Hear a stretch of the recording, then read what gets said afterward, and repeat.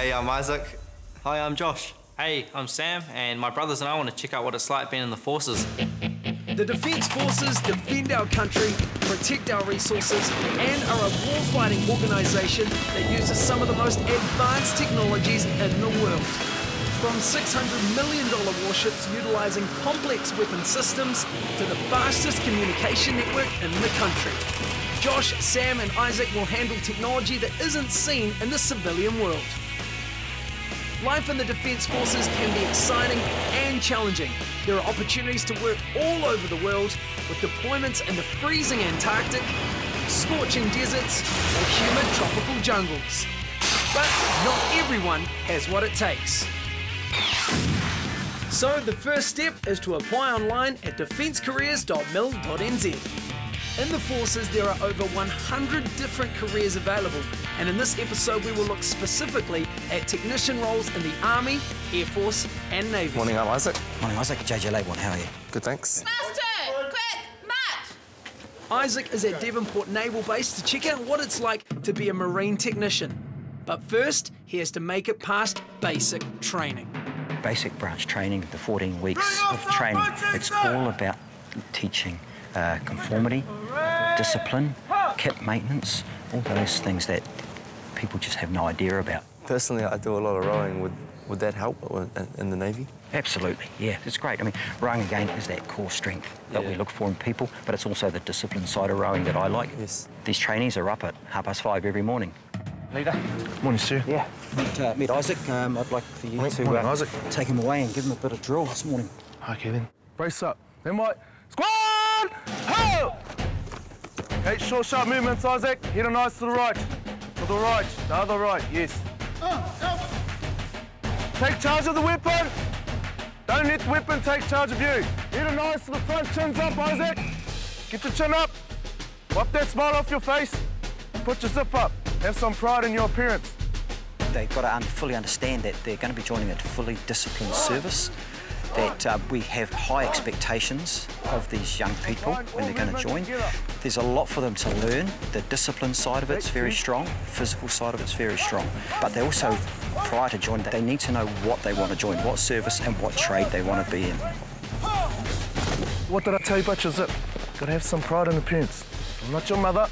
What? This! This! Two, three, move!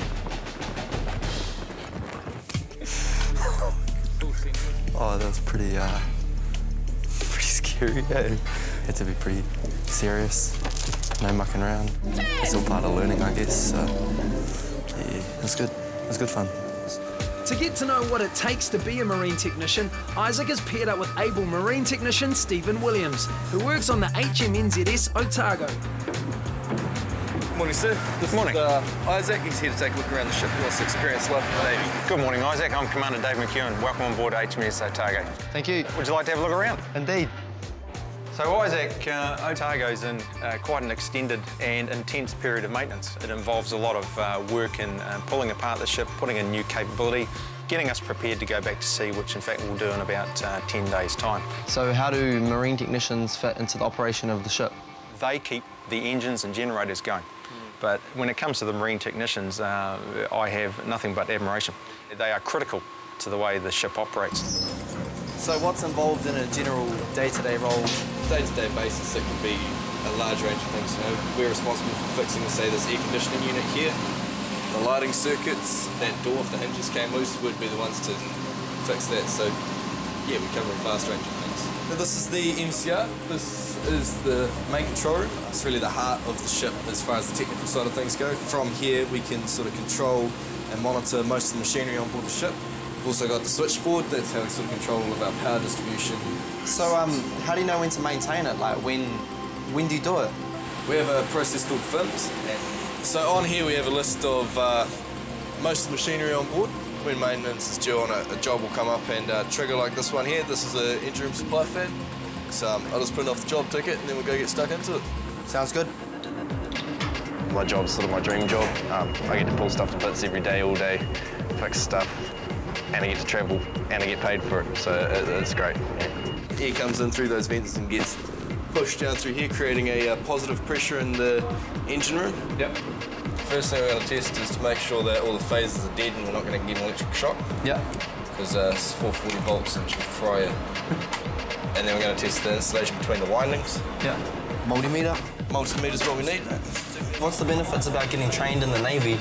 It's getting to work with you know really cool equipment. We get some really cool stuff.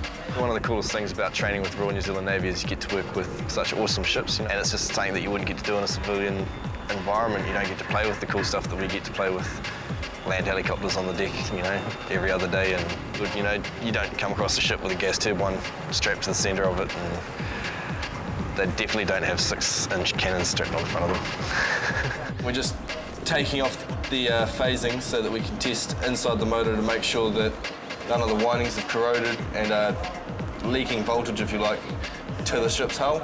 It makes it dangerous. This whole outside housing could be electrified, so if somebody was to touch it, they'd get a zap. Shit. So as you can see, this uh, terminal's just broken off on me because when it was done up last, it was done up too tight, so um, this bolt has been cracked. The whole bolt's just broken. Yeah, it, it, have to replace that one. Yeah, we'll definitely be replacing that one. It's sort of, you know, one of the key things that we're looking for when we're doing this routine maintenance, you know. If that had happened to have uh, popped off, you know, while we're at sea, it will cause a drop in pressure in the compartment, which can actually cause the main engines to blow seals out. Okay. So, um, from one little snap from bolt one little tiny snap bolt like that, it can affect so many other systems and, you know, create huge faults and throughout the ship. Well, it's good you picked it up then today. Absolutely. Luckily, this near miss is easy to fix. All right, Isaac, so now that we got that all back together and uh, fixed that fault, we'll uh, go and test it, make sure it is working. Get out of here. While testing the extraction fan, Stephen gets caught up in a situation that will test the entire crew's ability. Fire. One, Charlie Zulu, one. Officers continuing to laundry. Get that phone. One Charlie Zulu, one laundry, smoke, and one Charlie Zulu, one laundry. Five pump running? Fire pump's running, ma'am. Five pump is running. Okay, then one. Electrical isolations have been made, ma'am. For exercise, for exercise, for exercise. Fire, fire, fire, fire. Training exercises like this happen every day. All marine technicians are trained as firefighters, and all crew on board train for every possible emergency, like flooding, toxic gas leak, right up to abandoning ship. On a day-to-day basis, we'd do at least one of these exercises a day. Casualty, casualty, casualty, casualty in one Delta passageway. Do these exercises, we obviously train as if it was a real situation, so even though you know it's an exercise, it's still, you know, an instant rush of adrenaline and you're there and you get your suit on and, you know, you're rushing, you're running down hallways and stuff like that, and it's quite a thrill. I quite enjoy it personally. The aims of today's exercise have been met, therefore end of exercise, end of exercise, end of exercise. Return and stow all gear. There will be a debrief for all personnel involved in today's exercise at the scene in 05 minutes time. So, as you can see, it simulates quite a realistic fire. Shut that door, sorry. Yeah, come through. Got to prevent the smoke from spreading around the compartments. So Isaac, now we're going to head up to um, Ordinary Marine Technician Wood's promotion. He's getting promoted from an ordinary rate to an able rate. Marine Technician Wood's promotion gives him deserved recognition in front of the ship's company. Ship's company, stand at base! For me, being in the Royal New Zealand Navy, I get a you know good sense of pride. You really feel like you're actually doing something. You're making a difference and you're serving your country, and New Zealand's people are grateful for it. So you get told that everywhere that you go. Um, for example, when I was in Christchurch for the Christchurch disaster relief, you know, we had church groups bringing around cakes and biscuits and stuff at sort of you know 3:30, 4 o'clock in the morning. So I don't know, just seeing stuff like that, it, it's really cool. So as, as you can see, you know, us marine technicians, we keep the whole ship going. Some of the most advanced, biggest sort of Navy uh, equipment in New Zealand. Without us, the ship doesn't sail. Awesome. Thank you very much, Steve. I enjoyed it. Isaac's uh, very inquisitive. He's got a keen eye, um, asks lots of questions. He's obviously got a very keen sort of interest in the Navy and the technical side of things. Um, yeah, hope to see him here in the future. To be a Marine technician in the Navy, you must be 17 years or older, medically fit for service, of good character, a New Zealand citizen, and have completed at least three years at secondary school. Upon enlistment, you will complete a 13 week basic military training course. The Navy meets all costs of job training. Training is concluded in the first four years of a marine technician's career.